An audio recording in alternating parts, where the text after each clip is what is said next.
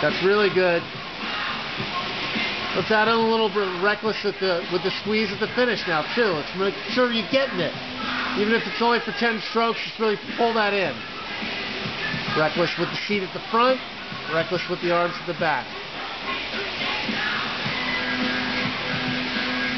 Good.